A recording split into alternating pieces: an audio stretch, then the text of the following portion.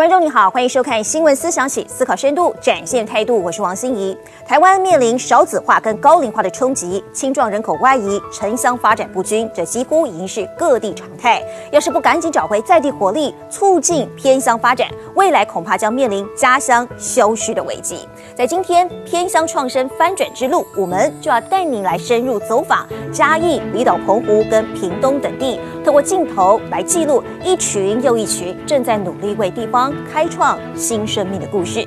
那么说起来，一开始地方创生的概念源自于日本。台湾把二零一九年是定为地方创生元年。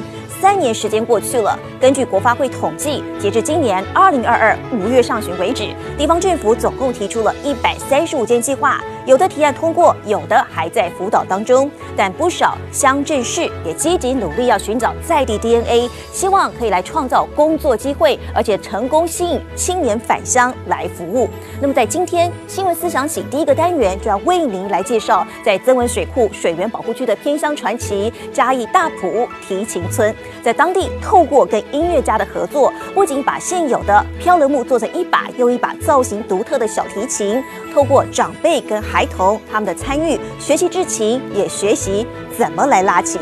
最后，甚至还成立了大埔爱乐弦乐团，让音乐进入社区，凝聚向心力，也成功创造当地特色。暖阳的午后，嘉义大埔乡和平社区传出阵阵的敲打声。这里是隐身山林间的提琴制造所。一群社区居民聚集，正在参与一堂小提琴制琴课。这我拢免想讲，你拢会晓，对不对？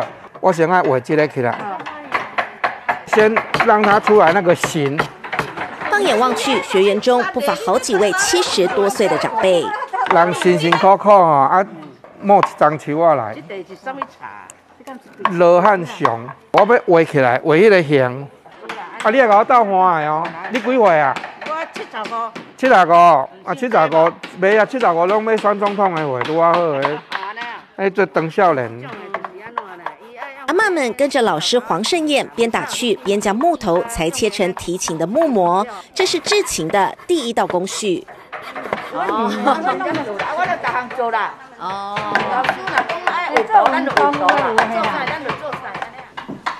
特别的是，这里的一块块木材全为废弃的漂流木，随着特性与质地不同，都是制成提琴面板、背板、琴头的重要材料。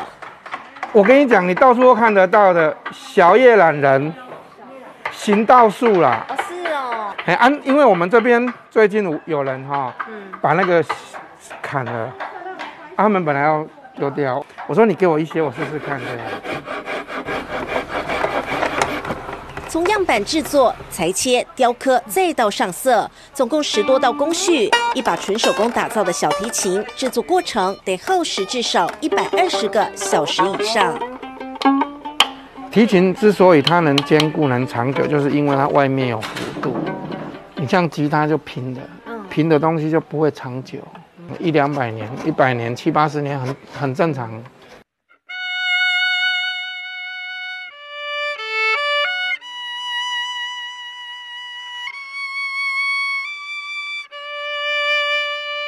平社区位在增文水库水源保护区。二零一九年开始推动漂流木制琴课程，废弃木料透过设计与工艺，成功化身为一把能拉奏出美妙乐章的小提琴。像认识本地的材料，我觉得是蛮有趣的一个课题呀。因为这里的人他本身就住在森林里面，他们不太懂得他那些材料是宝贝。哎啊，我会跟他说：“哎，你这个东西很不错，哎，他其实蛮响的，他可以做我们提琴的哪一个部分？”和平社区做出的琴只留存不卖，三年来他们已经制作二十多把和平牌提琴，而每一把琴的背后都有着不同的故事。无做，那想讲啊，心肝痒痒啊，啊，就直直做，直做。无偌久，我就做足一支啊，就是安尼啊，我做十二支啊有。一个中体，哦啊啊两支诶小小的四分之一诶小小两支，六六岁的孩子在哪的。他是七十五岁的陈瑞云阿公，学习制琴两年多，现在小提琴已经成为串联家人的礼物。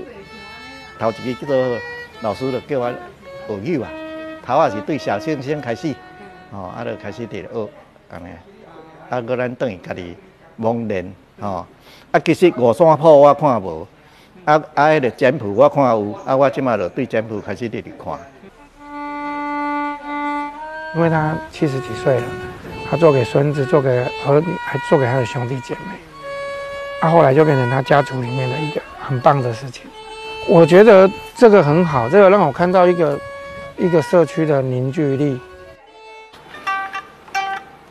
这个是直接他的原型来做。对啊，就是不不修它的形了。但这个这样声音会有不一样。对，比较小，它不是小提琴那个音箱。他们尝试用各种素材做出的提琴造型各异，却也是世界上独一无二。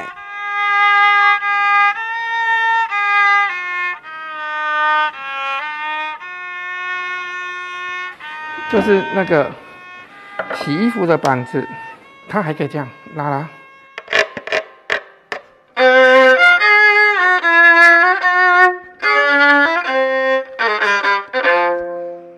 很多长辈都有这种想法啊，我喜欢那首《夜来香》啊。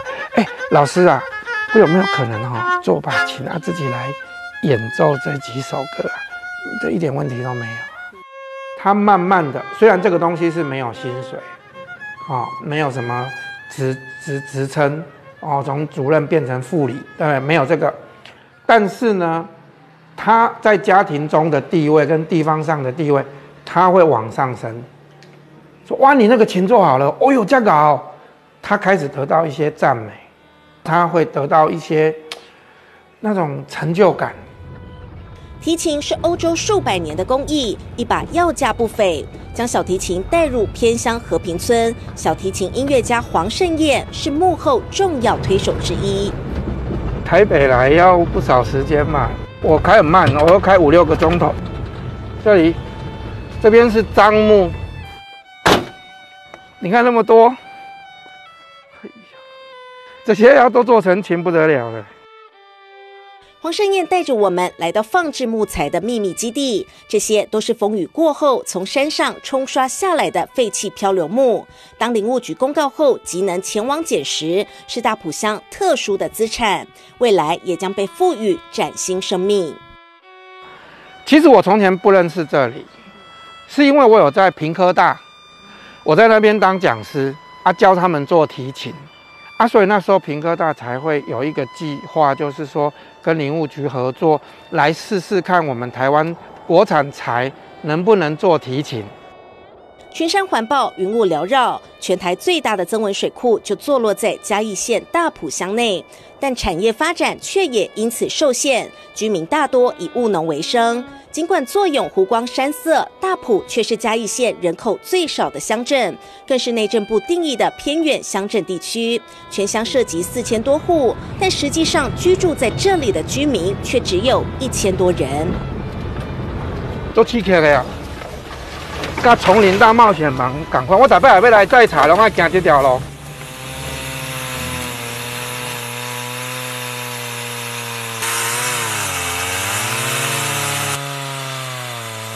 这罗汉松，它其实花纹很漂亮，但是它在松里面算是比较硬的。你打开就是都木头了。这是古代的门板，可是它好像是琴，它是块木。说老师，你要做琴，这个好哩。学音乐的人本来就想法比较多也都会有一些梦想，比如说。砍树来做琴啊！砍树不就要到深山里面去啊？然后这里就是深山了嘛。来到大埔乡是黄胜燕人生中的插曲，也开启了和平村的新出入。大埔偏乡，它其实隔代教养是很严重的，从我们小时候就是都是爷爷带大的，哦，所以说基本上我们的这种互通的模式其实是不多的。哦，那透过小提琴的故事，其实他们会有一个共通的话语，很好的这种共融的一个模式。我们这边有一个阿妈，她为了更亲近她的孙女，然后她就来社区看我们到底在干什么。结果他发现我们有在制琴，有在拉琴，然后他就为他孙女，就自己就做了一把琴。推动创生、翻转偏向命运，其中最重要的关键正是人。如今的和平村从人口流失的偏乡小村，开创特色与亮点，成为小具知名度的提琴村。因为小提琴它是一个非常金字塔尖的文化，啊，因为它太多，它不是只有做琴这件事，有太多的音乐家。你看，随便举一个，莫扎特、贝多芬、巴哈，这些东西都非常。就欧洲的高等文明嘛，按你学的时候，这些音乐的特性、旋律都会影响这个小朋友的内心的那种成长，不会一样。这个是非常厚重的软实力。而每当到了夜晚，提琴制造所就会变身成音乐教室，悦耳的琴声余音缭绕。可以用四指的就用四指啊，哈，不能用的再用空靴。三发。黄胜业与另外两位老师轮流担纲社区的提琴家教。二，用音乐连接社区，诉说在地和平社区逐渐转变。三年前的校庆，就是有请小提琴来我们学校表演，然后我就加入了，会想要去挑战一些和第一首歌很像的曲子，就这样子慢慢进步就可以。拉更难的曲子，第一次很难，看那个音，然后要知道是在哪一条弦的哪一个位置。学会一首歌的时候，很有成就感。和平社区成立大埔爱乐弦乐团，至今已有二十多位团员，有长辈，有孩子，有家庭主妇，也有学校老师。最小的团员只有七岁。最年长的则有七十多岁。刚开始是跟不上的，慢慢跟上就很兴奋。那你回去会拉给家里的人听吗？会呀，就是我老公啊、小孩子啊。刚开始他们也觉得很吵，现在练得比较熟，就嗯，就说有进步啦。以都市人的概念，学琴的费用是很高昂的。他们在这边的学习，他的费用其实很少，可能是山下的一堂课，他们是上一个月的课程。好，一来哦。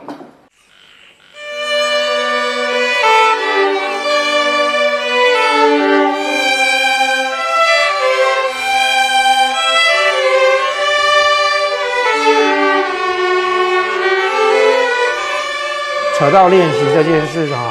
小朋友都比较被动，但是大人哈，尤其像阿公阿妈哈，他从前会觉得小提琴离他非常遥远，他可能这个都在电视上看的，啊，有一天忽然间说，哎，可以来这里学习，哇，他有的就很珍惜的在学习，啊，但是他也有个弱点，就是他会说，哎呀，我这么大了，阿刚学得来吗？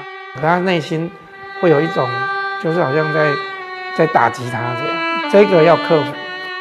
一名来自外地的小提琴音乐家，一个被定义为偏乡的乡镇，一群在地的青年老少，他们相遇并激荡出火花，替当地带来正向循环，带动观光人潮，推动社区产业。而大埔乡的下一个课题，则是如何吸引更多青年有志回乡。除了年轻回流以外，他也有能很多人来这边生活。好，来这边生存，然后增加很多人的这种在地认同、在地连结，好，然后让大埔乡它未来的发展它是可以永续的。啊，如果说能够透过这一种制琴啊、拉琴，啊，大家也学得非常开心，啊，满足了他生活上面的空虚啊，还有愿望啊，满足一些成就感啊，这个来说，这个我做老师。被同学们喊一声“老师”，这个就算是到位了嘛。漂流木与小提琴的结合，为大埔在地谱写出动人故事。透过工艺与艺术培力，创造在地价值。此刻种下的创生种子，期待未来能成为家乡迈向永续的新契机。地方创生以人为本，要翻转偏乡命运，靠的其实也是人。继续还要带你前进到离岛澎湖，当地的湖西乡南寮村也是人口外移最严重的村落之一。但近年来，澎湖南寮在国际之间可以说是名号响叮当，甚至还连续两年获选为全球百大绿色旅游胜地。而荣耀的背后重要推手是这么一群千岁志工团，里头成员平均是七八十岁，最年长的还将近快百岁。他们热爱家乡。那么，在时任社区发展协会理事长陈有泽的带领之下，一点一滴为社区改造而努力，不仅是将废弃的浮球变成装置艺术，意外成为热门的打卡秘境，也非常成功，把农村体验变成在地亮点，让离岛创生走出新的境界。一二三，呼，OK，好。南寮是靠近澎湖本岛的东北角，因为受到那种潮流啊跟风势的影响，所以哈就是会有好多浮球。步入位在澎湖东北角的南寮村，沿途五颜六色、各式造型的海漂浮球映入眼帘。我们刚开始啊，可能就是村民他们也不会说真正真正是为了环保啊，甚至有一位带回来是挂好看的，久而久之就演变到装置艺术。在地居民利用废弃浮球跟渔具彩绘制成装置艺术，成了南寮代表性的意象，也开启社区重生的契机。等下吼，我会带您然后行你遐啦，啊，咱再慢慢的底下扣。浮球是渔民讨海时使用的工具，用来增加渔网浮力，但废弃后却变成生态杀手。采访这天，几位职工阿妈跟着社区发展协会前理事长陈有泽前往海边捡拾浮球，就地取材，跟上起一堂生态课。它这个就是在海中停留的时间非常非常的长，它不是只有浮在海平面，然后就飘过来哦，你可能就是卡在那个那个石头缝里面，这类似海瓜子但在啊。我今年七十岁，啊，做志工吼，阮理事长甲村长吼，因选着了吼，甲这个南寮吼，所有歹的迄拢整理的好，啊，后来都有观光客啊。他会想要做志工，啊，就像讲阮老大人吼，较经营啦，啊，都中心啦有，像讲有人家游客来吼，要创啥物货哦，啊，若需要阮，阮就出来到手安尼啊。值得盖好营，盖好营哦，安那讲？所以我看下，安尼开拜拜。缤纷浮球成了地方特色。南寮村还有位著名的浮球爷爷，高龄九十七岁的赵有德。社区内改造过的浮球有三分之二都是出自于他之手。菜刀来，哦，菜刀，跟小哥你只有菜刀好了。哦，这个，我那是就这个，是因为下过。这个我画给他的啦。嗯，在这里，像赵有德与阿妈们一样的长辈志工约有二十人，总岁数超过一千岁，堪称全台最高龄的志工团。而将长辈集结的关键人物是他。重新有，就是你要重新补上。他这个如果没有受到撞击刮伤的话，大概这个五六年以上都没有问题。一开始的想法就是说，人家社造在台湾本岛已经做很久了，啊，澎湖好像起步有一点晚，我真的是要迎头赶上。陈有泽是土生土长的南寮人，原本是台电员工，二零一一年接下南寮社区发展协会理事长，带领当地长辈投入社区营造，力求替没落的家乡带来蜕变。啊，也不是说哦，我是离岛偏乡哦，在天涯海角应该是不被人家重视的，或是各种资源可能都是比较欠缺的。我们就是会善尽其它原有的这些特色哦，来经营我们的社区。南寮村位在澎湖湖西乡，涉及七百多户，但常住人口只有约两百人。青年外出打拼，村内剩下老人家固守家园。全村有九成都是高龄长辈。在澎湖九十六个村里中，这原本只是个不知名的小村，鲜少游客驻足。近年则吸引不少游客到访。除了用浮球装点环境，他们修整闲置的老古石建筑与古厝，并保留传统农村样貌，将南寮的百年岁月与风韵化为自我 DNA。游客根本不知道是有一个南寮，他们只知道北寮有一个摩西分海，然后他摩托车啊车子一开就过了哈，然后就是到摩西去了。可以保持原来的这些龙跟风貌，哦，而且保存的越久是越好，有我在地的一些特色的元素在里面。那这样的话，我就不会怕人家以后不来。好，各位来到这里，就是我们南寮社区的一个牛屎窟啊哈。那早期在澎湖这边哈，三餐煮饭一定都要用燃料。那燃料的话，变成说，呃，就是非常缺乏，所以一定要自己除了自己种，就是类似高粱杆。地瓜藤哈之类的，那不够的一定是要用牛粪。那牛粪是一个耐烧的一种燃料。阿妈，咱现在找完久啊？大家 Q，大家来 Q。本来要吹过安尼要 Q，赶紧做就是哎呀呢。袂当互你讲，等下慢慢的冲，慢慢的洗。如迄个、迄、迄个、迄、迄油哦，做下盐暗都袂了。哦。老虎石它跟那个牛粪是一种绝配哈，因为它贴在上面它是不规则的，所以啊哈，它是可以贴的比较牢固一点。碰，哦这样，嗯。哦，一起一起。耶，好了。哎，来，等一下，等一下，等一下，等，来这这个这个这个这边去吧。哦，哦，这啊掉了。哦，这样可以。我们在玩粘土。我们的龙式体验。几乎都是他们平常年轻的时候在做过的，所以等于说也不用教我。本来他们就有这些技能。我这样看哦，他们是很有成就感的。这种无无头无多。大家来佚佗了，安尼就讲安足好，啊欢喜啊，阮就好啊。都有发展这个社区，才有人来啊。煞无观光客咧来都足少。伊较早迄阵来吼，迄少年的拢是去七米啦、结背啦。较离岛较多了。南寮社区的华丽转身，凝聚出改变的能量，更获得国际肯定。号称全球规模最大观光博览会的柏林国际旅展，在二零一七年与二零一八年将这选为全球百大绿色旅游胜地之一。社区做到最后啊，一定要有所谓的产业这一部分，真的是非常欠缺啊。就是啊啊，欠缺的原因，当然就是没有年轻人进来。啊，所以啊，这个是社区目前最最大的困难点。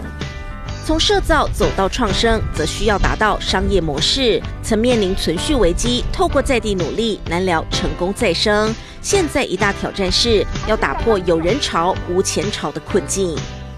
我将来就是有一个构想，就是要成立一个呃中央厨房，解决这些老年人啊他们的用餐问题。其他的时间，他可以充分的利用这个中央厨房来做一些老人的这些手工饼干也好，他的收入就可以作为设计的福利啊。而推动地方创生，比起台湾本岛离岛有着更多难关。澎湖四面环海，拥有丰富生态与人文风情，但二零二二年全县人口十万六千多人，相较以往微幅成长，但仍是人口外移严重地区。其中马公市就占了全县总人口半数以上。澎湖的就是人口那个就外流的话有三成，其实是全台湾最高的，所以这个是一个最大问题。然后还有一个就是。因为渔业资源已经渐渐的哈短缺，哈从因为气候变迁，还有过度捕捞之后，所以他们也势必要转型。那目前他们转型的产业还是以观光这一个区块。因为离岛它本身它整体的产业链不像啊本岛里面那么完备那么完整，所以离岛它适合发展地方创生的。事业的部分也跟本岛是不完全一样的，还是一样要根据它地方的特色，找出它的 DNA 的方式去进行。交通不便，人才难治，工商业发展不易，加上渔业资源逐渐枯竭，要转变剩下老人与海的窘迫，转型成为关键。澎湖面临一个很大问题，就是淡旺季非常明显，好，所以你没办法说持久，所以很多都是旅游旺季的话，他们就是呃聘请那种临时的哈，那个或者我们喷科大学做攻读的一个有人力。这些离岛，他有办法找到一些活动，办一些活动，呃，让他们自己的观光品质变得更好，让更多人呢第一次有机会来到这个地方，然后爱上这个地方以后，就会有更多人可以跟这个地方产生关系。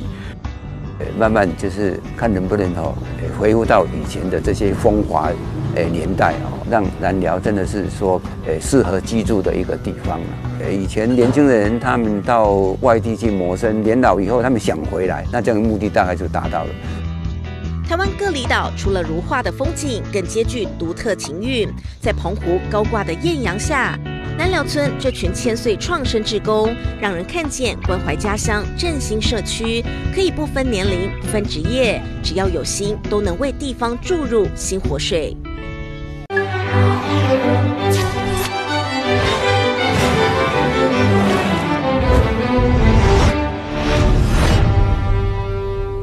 欢迎回到新闻思想起。近年来，有不少大学都特别重视 USR，也就是大学社会责任。意思是从在地需求出发，透过人文关怀解决区域问题，进而尽到社会责任。而这样的概念也能为地方创生注入新的活水。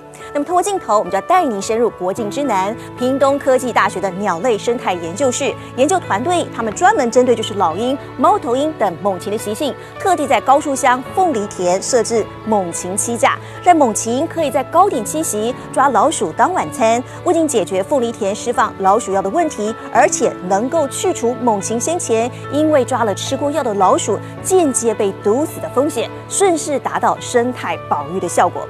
而至于在北台湾，则是有台北科技大学，他们运用了是建筑跟冷冻空调的专业，帮助新竹石垒部落的居民，他们建造高山蔬菜直贩所，也打造可以让蔬菜保鲜的智慧冷窖。而独特的造型，刚你看到了，非常独特，也意外成为部落打卡新景点。忙着打卡拍照，这个不寻常的建筑物是部落的新希望。我觉得说就是一个很平凡的那个什么纸饭所，就是四四方方做出来之后，才发现到就是我们的观念都就是被被打破这样。原来这里是部落蔬菜的直贩所，在高山蔬菜的展示架旁，还有一个精心设计的烤炉，能取暖，能烤肉。直贩所内外都有亮点，是北科大学生和部落青年激荡出的火花。木头都是呃回收的材料做成的，它其实原本的颜色是一个比较亮的颜色，那久了之后，它其实是会有一点生锈颜色，跟木头就会有结合的感觉。大学生们用设计翻转地方创生，不过部落青年还得再把地方创生这个概念转化成族人能接受的样子。我很清楚国家在谈的地方创生的概念，可是我们不能用国家谈的那个概念跟部落说我们要做地方创生，他会紧张。可是我会做一个转移，就改变这个语言，说我们来创造一个可能新的什么经济模式啊，新的方法。我在销售上，例如说，哎，我们农友嘛，我们弄个直贩所，那最大的是我们也希望回乡的青年透过这个点。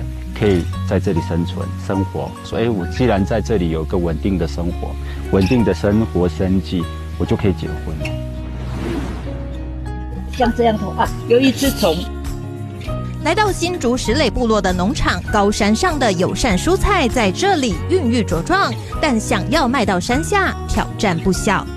不是因为以前呢，我很想做一个就是冷藏室。就是因为我们的电这边的电非常的不稳定，当天我们说要出货的多少，我们就采多少，剩下就就是搁在田里面嘛。不过北科大学生聆听部落耆老想法，运用早期部落居民在山沟里挖出池塘保存猎物的概念，搭建出一座智慧冷窖之后，事情的发展不一样了。这是第一道门哦。智慧冷窖设计像密室寻宝，有两道门，防盗也控温。地板下有个奇妙的水池，冰凉的山泉水就是没装冷气，蔬菜也能保鲜的秘诀。蓝色的是我们的电控阀，然后这个是手动啊，就是当可能因为山上可能如果被断电的时候，但我还要确保说我里面也是可以进出水的。透过科技循环降温，冷窖可以维持七到十度，蔬菜则能存放七到十天。那因为我们安装了这些感测器，那这变成说我可以提早预先知道哦，我的车子要提早进维修做保护，那才不会在我过程中损坏，让我的那个蔬菜品质下降。USR 的精神大概就是在大学端这边，把大学师生在学校里面、学院里面所具有的专业知识，应用到我们的场域来。在跟部落经过了长时间，将近半年的磨合，我们确立了安居乐业是石垒部落这边最需要的。从冷窖拿出的蔬菜，坐上安装感测器的低温物流车，沿途智慧监控，部落居民辛苦种植的蔬菜，能以更好的姿态走得更远。现在就是前往台北，送去给消费者。离开台湾北部，一路往南，来到屏东，在高树乡的凤梨田里，这根长长的竹竿肩负了重任。在我旁边的猛禽支架呢，高约五公尺。之所以要设的这么高的原因呢，主要是为了便于猛禽能够居高临下俯冲下去捕捉猎物。我们造访的这天，大卷尾就停在猛禽支架上，它正在品尝属于它的美食。天空还有老鹰盘旋，观察田间有没有老鼠可以大快朵颐。白天呼呼大睡的菱角鸮也会来这里吃晚餐。自从邀请他们来这享用大餐后，农民再也不用放老鼠药，猛禽也不会误食吃下老鼠药的老鼠而中毒，农作收入更好，年轻人也更愿意回乡务农。这个就是自动相机啊，所有这个拍到鸟的出现什么鸟的秘密都在这里头。有黑鸢公主称号的平科大研究员林慧珊，长期观察鸟类生态。她也跟我们分享成本不到五百元的猛禽栖架如何小兵立大功。其实最常拍到是他们在吃老鼠。这个凤梨田它非常特殊的就是它不能够使用老鼠药。凤梨是在地面上面嘛，它就会被老鼠啃啊，啃破洞啊。嗯，我们任何人都不会想要买到有破洞的凤梨，所以在这边不能够使用老鼠药的情况之下。我们在这里架了这个阴气架之后呢，这些像这个黑翅鸢，或者是像猫头鹰，他们来帮忙抓老鼠。呃，对于这边的田间的老鼠，理论上来说是会让老鼠比较降低的。这样，剪掉就那个这这里这个空位出来啊，老鹰它看比较清楚啊，老鼠它不能躲在那边。农民学会了清除多余的凤梨叶，让猛禽更方便捉老鼠。社福团体也在企业的协助下，在自家的凤梨田引进猛禽栖架。一开始种凤梨是希望有多一点收入，后来发觉生态一直越来越繁荣的时候，这个我就想，诶，他们的生存权，他们的生命比比那些卖的还要重要。我们要看它。旁边的农田的树上的巢箱有没有菱角鸮入住？平科大鸟类生态研究室也在凤梨田周围架设巢箱，希望吸引菱角鸮常住，把这里当永远的家，持续守护生态。大学社会责任，平科大不止在平地实践，也在山林间落实。可能就是望远镜去看，说，哎，它现在是。在做什么样的一个防化行为？带着部落青年了解蜜蜂的小秘密，平科大学生把课堂上学的知识都化为帮助部落发展林下养蜂产业的养分。除了幼虫以外，就是它的网路是蛮多的，涂的很就是很饱满的。哇，就就这种就很漂亮。嗯，我们就可以将我们的蜂蜡涂到我们的布上面。哦，比如说像他们。在学校所学的一些呃 DIY 的部分呐，然后怎么样的行销，然后怎么样的包装等等，然后再再加上我们部落的一些老人家的一些智慧或者是传统的文化，把它结合在一起。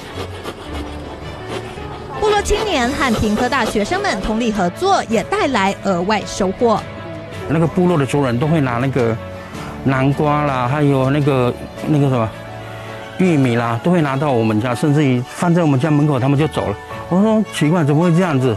他们讲说，自从部落你们开始在养蜜蜂哦，那个南瓜啊，呃，收成的量都比较多。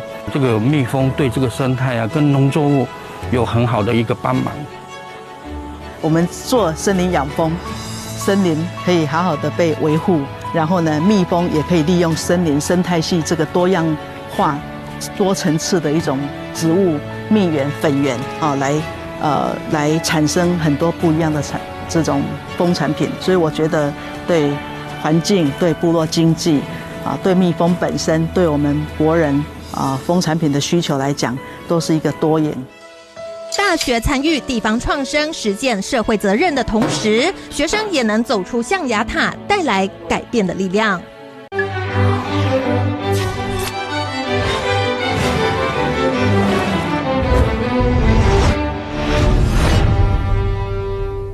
欢迎回到新闻思想起，今天的偏乡创生翻转之路，还要告诉大家来自百年山城瑞芳的故事。在当地有一个特别的乐器，叫做布依鼓，它是由漂流浮球裁切而成，从声音到制成都跟一般的鼓很不一样。有别于一般的鼓面使用树皮，布依鼓它用的是厚棉布，因此也被当地人昵称说这可是一颗吃素的鼓。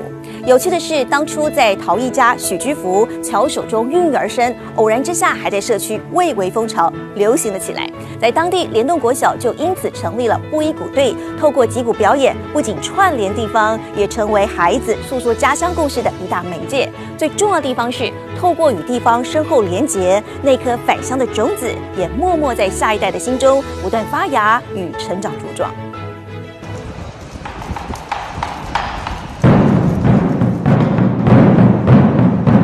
的鼓声在渔村山城中回荡，他们是新北市瑞芳联动国小的特色鼓队。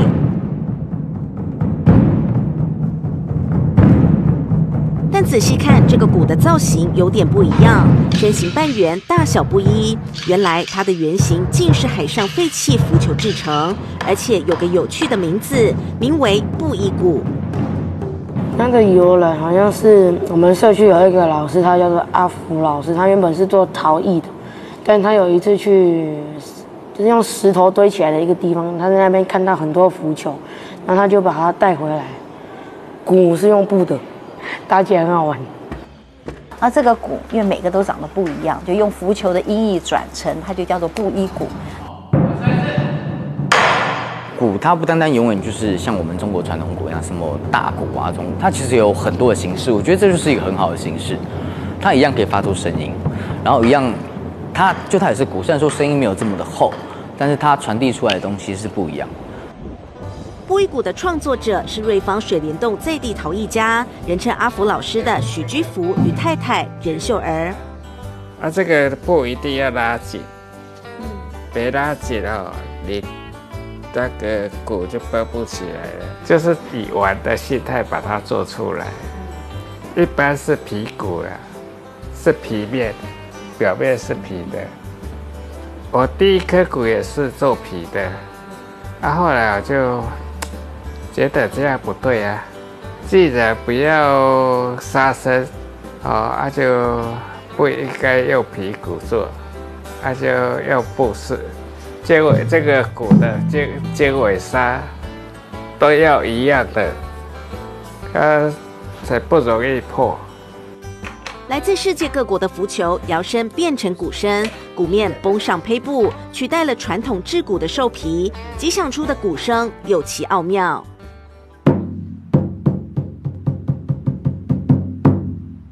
对，它大小规格不一样，出来声音就不一样。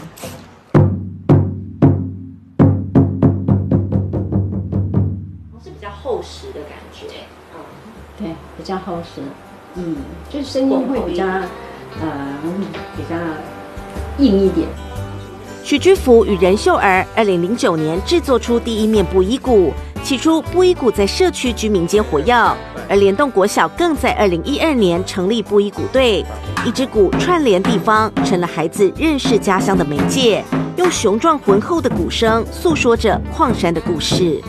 那时候在社区里，就是好朋友可以聚在一起这样子，因为这个鼓大家可以玩得很开心。然后后来是因为学校呃编入到课程里面去，可以让小朋友去呃学习去接触，我觉得这个是应该是嗯是很好的。瑞芳介于山海之间，地处偏远，随着矿业逐渐消逝，地方跟着没落。联东国小全校仅有九名孩子，教职员比学生数还要多，但这却是台湾各地偏乡小校的缩影。相对我们的地理位置是属于比较偏，好离市区远一点的，那会有些不同的资源进来。我们呃跟社区的这样的一个连接，它也呃不是一个很明显，只是空间地理位置的一个方位的不一样，它还有很多在这空间当中的呃人事物。在乱打嘛？你们几个啊？蔡泽宇啊，陈立言啊，哈，你在乱打嘛？布依谷从社区进到校园，由台湾知名的艺术团体悠人神鼓团员每周到校替偏乡学生上课。布依谷队更曾登上国家戏剧院舞台。最一开始的感受是打鼓很好玩，到了后来就觉得在中间会觉得有点烦，然后又觉得有点累。后来到最后要毕业的时候，你就会感觉很有成就感，可以出去到外地表演。有很多小朋友，他们从不喜欢打鼓，然后到愿意去了解一点，然后愿意去学，然后愿意背起来，一直到他们能够上台，这是我人生中的一个成就。因为我以前从来没有想过说能够做到这样子的事情，然后他们在台上发光发热，然后他们在台下努力的练习。就是这样，很长一段时间这样看来，让我觉得，哇，他们做得到。为在地找生机，政府将二零一九年定为台湾地方创生元年，包含瑞芳在内，共有一百三十四个乡镇市。若没有积极推动创生，带来改变，很可能面临家乡消失的危机。政府并在二零二一年推动创生二点零。我们除了原来是由啊地方政府。公所他所提出的啊事业提案之外，我们在增加了多元增案的一个管道。全台湾有三百六十八个乡镇市区了，而我们的重点的部分有啊一百三十四个啊乡镇比较偏乡的地方。以目前的建数，我们觉得仍然有很多可以努力的一个空间。我们有一个优先地区这样的概念，但是其实现在台湾全部的乡镇市都可以去提案。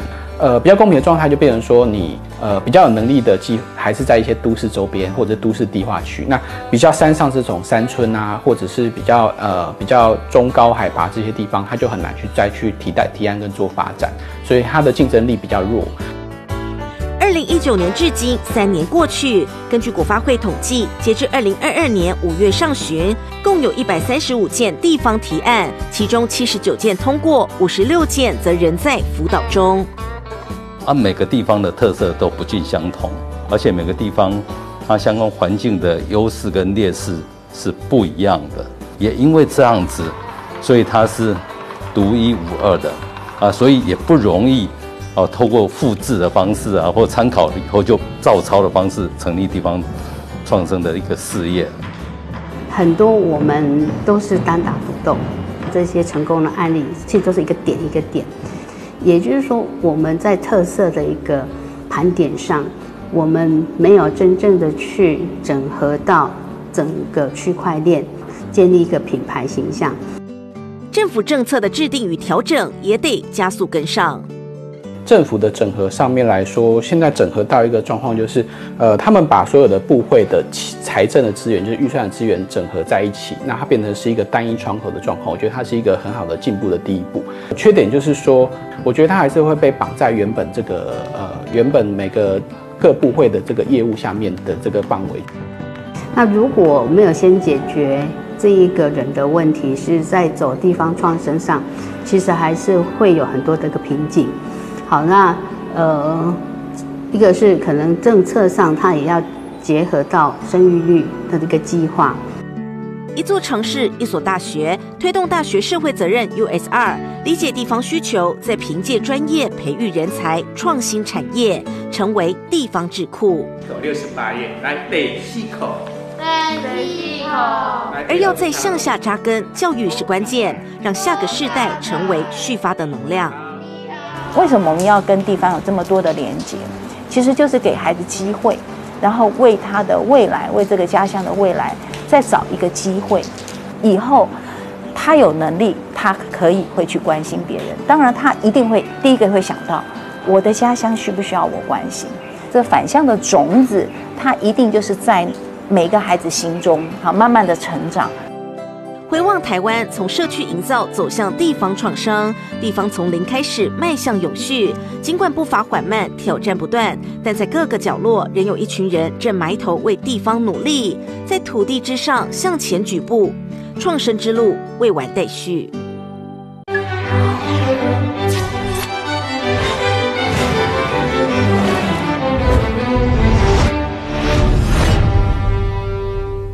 欢迎回到新闻思想起，关怀家乡，打破没落困境。从社区营造到地方创生，每个环节都需要各世代的共同努力，同时也把希望的种子传递下去。感谢收看，我是王心怡，我们再会。